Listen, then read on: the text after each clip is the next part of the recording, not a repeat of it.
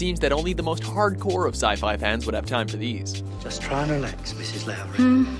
I'll make you 20 years younger. Welcome to WatchMojo.com, and today we'll be counting down our picks for the top 10 sci fi movies you've probably never seen. You know you're starting to sound like a goddamn poodle. You're starting to sound like a jackass. For this list, we're focusing on the science fiction movies that you may have heard of, but chances are that most people today have never bothered to sit down and actually watch them in their entirety. Yeah, This is what they're talking about on the news. Yeah, yeah, it must be the comet.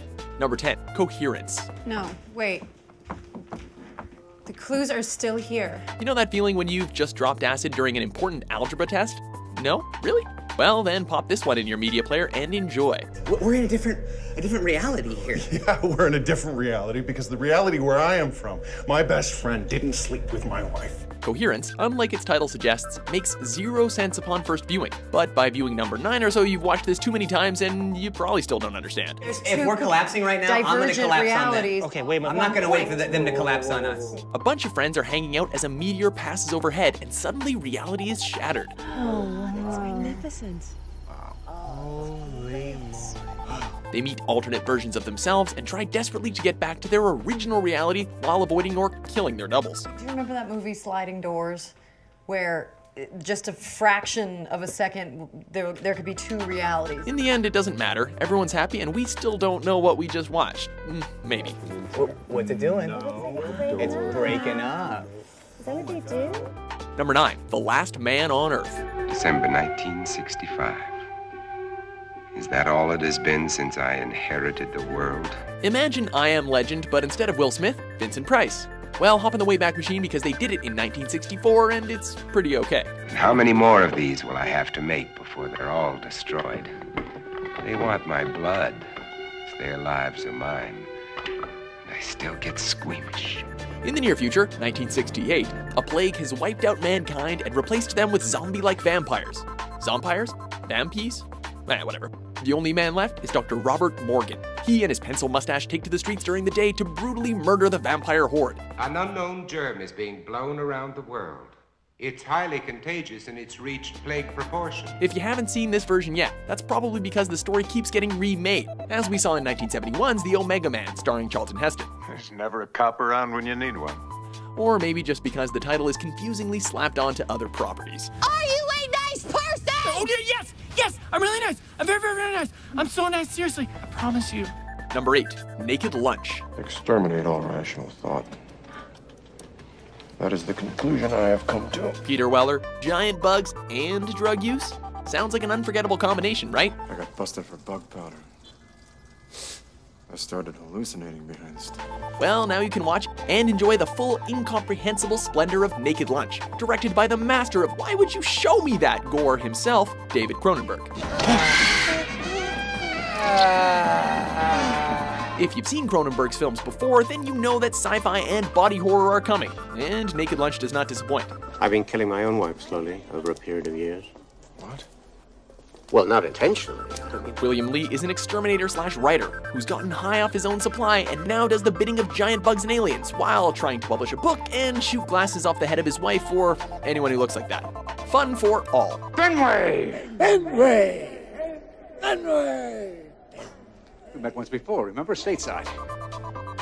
Number 7, Soylent Green. As the world wants you, punk. Yeah, so you keep telling me. In the distant future of 2022, cities are overcrowded, pollution is rampant, and food is scarce. The only solution? Artificial food, of course. A new, delicious Soylent Green. The miracle food of high energy plankton gathered from the oceans of the world. Detective Frank Thorn is caught up in a suspicious murder case and falls down the rabbit hole of industrial espionage and assassination plots. He was murdered, you know. Assassinated. Robbery had nothing to do with it. When the truth is discovered, although we won't reveal that here, Thorn must expose it to the world, although he's effectively telling everyone a truth they don't want to know. The supply of Soylent Green has been exhausted. You must evacuate the area. Soylent Green produced what has now become a famous quote. But when your film's most famous line reveals the twist of your movie, there might not be much incentive for a new audience to see it. You tell everybody. Listen to me, Hatcher. You gotta tell them. Number 6, Timecrimes. Are you not yet tired of time travel paradox movies? Well, give this one a spin and sit back as your mind is blown. Has viajado en el tiempo. The premise is simple in absolutely no way. A man ends up in a time loop and ends up having to try to prevent the death of his wife. Has desplazado un pasado en el que todavía estás en tu casa, en tu jardín. Pero entonces, ¿qué se supone que tengo que hacer ahora? The events of the film are played over and over again until he gets it right, and as is to be expected, there are several versions of him running around out there to ensure things play out as they should, although sometimes they're working at cross purposes. ¿A dónde vas? A la mansión hay que examinarte. Eres el primer vertebrado que viaja en el tiempo. ¡Vamos! If you loved all that time travel stuff from Back to the Future, but thought it could use more horror and thrills and less comedy, this Spanish Weird Fest might just be right up your alley. Vengo del futuro. Vuestra máquina funciona. ¿Pero dónde Escúchame. Number 5. Westworld. Slap it with your drink. Jurassic Park, but with killer cowboy robots. What's the catch? There's no catch, just grab a popcorn and enjoy. There's no way to get hurt here. Just enjoy yourself. Before Michael Crichton penned his now famous and sequelized sci fi epic about dinosaurs running amok in a theme park, the author had a first draft of the very same story, but with another villain that kids love. Well, they may have been robots. I mean, uh, I think they were robots. At le- I I mean, I, I know they were robots. When two buddies visit a different kind of theme park full of gunslinging androids, they begin to suspect that something is amiss when the robots begin brutally murdering tourists.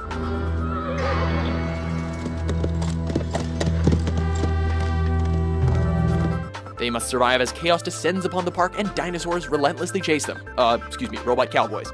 Robot cowboys relentlessly chase them. Doesn't anything work around here? Number 4. A boy and his dog. I hope the next time you play with yourself, you go blind. Ah, the classic tale of a young man and his telepathic dog that helps him find women to sex up in a post apocalyptic wasteland. If you haven't seen A Boy and His Dog yet, then why not? One does not say ain't, Albert. Simply say, I'm not kidding. Fine, dog meat. And stop calling me Albert. The plot, based on stories by fantasy writer Harlan Ellison, boasts a solid, if slightly unusual, premise and introduces a lot of what we now take for granted as post apocalyptic story tropes, like mutants, raised robots, and underground communities living in bunkers. Get another Michael out of the warehouse. This time, make sure the engineering department wipes that smile off his face. You never quite root for the eponymous boy or his dog, or any of the other characters for that matter, but the film has become integral to sci fi and post apocalyptic lore. Fallout, anyone? Now, you got any helpful suggestions? Yes, pull up your pants, Romeo. Number 3. Brazil. Listen, kid, we're all in it together. If you're familiar with any of Terry Gilliam's directorial work, then you know that most people consider this to be his magnum opus. Was he? Really? In an Orwellian dystopia, government employee Sam Lowry is tasked with investigating a clerical error that caused the interrogation and death of an innocent man. I only know you got the wrong man. Information transit got the wrong man. I got the right man. The wrong man was delivered to me as the right man. I accepted him on good faith as the right man.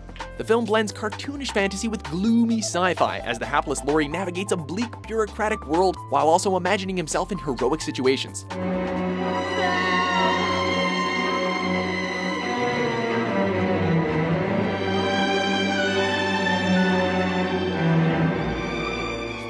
Because we're dealing with Gilliam, you can expect a lot of wacky caricatures and lavish sets. And what the hell is this mess? An empty desk is an efficient desk. Though it's gotten rave reviews over the years, it was also described as hard to follow by Roger Ebert, which perhaps explains why most people haven't seen it. That's what you wanted in it! Oh, I don't know. I don't know what I want. Number 2, Forbidden Planet. Just doesn't fit into normal nature. Anywhere in the galaxy, this is a nightmare. It doesn't get much more sci fi than this. When an invisible force begins murdering human colonists on a distant planet, a crew goes to investigate to see what all the fuss is about. Nice climate you have here. High oxygen content. I rarely use it myself, sir. It promotes rust. A young, dashing, and dark haired Leslie Nielsen stars as Commander John Adams and leads his crew to uncover the truth about the invisible menace. Guilty! My evil self is at that door, and I have no power to stop it! Robots, spaceships, and jumpsuits abound in Forbidden Planet, so this hidden gem is well worth uncovering. Now, be sure and look only in the mirror. Man does not behold the face of the Gorgon and live. In fact, Star Trek creator Gene Roddenberry cites this movie as one of his prime inspirations he used to come up with his sci fi series, so it's got merit. If you do not speak English, I am at your disposal with 187 other languages along with their various dialects and subtongues. Before we unveil our top pick, here are a few honorable mentions. Be careful. compared to the breadth of knowledge yet to be known? what does your life actually matter? I have come here to chew bubblegum and kick ass. And I'm all out of bubblegum. You guys go on without me. I'll be all right. Christ. All he does in his sleep is quit, surrender, and apologize. Shoot. I could carve a better man out of a banana. I have to apologize. I was born with a disfigurement where my head is made of the same material as the sun. It makes it impossible for you to look directly at me. What is it? I don't know. Whatever it is, it's war. Number 1. Metropolis.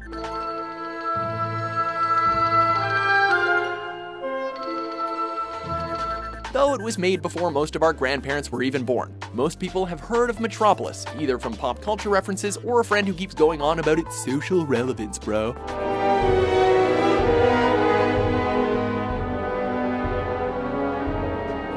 The film is an impressive work of German filmmaking by Fritz Lang, a production so big and lavish that it caught the attention and praise of Adolf Hitler, much to the director's shock.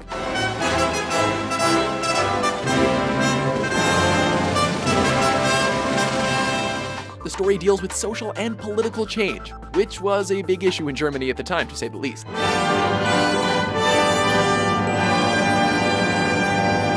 Despite its futuristic setting, audiences drew many parallels between Metropolis and the current events of the era, which is the aim of almost all good sci fi.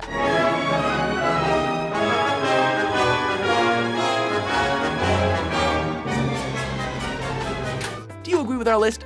What sci fi films have you never had time to watch? Your move.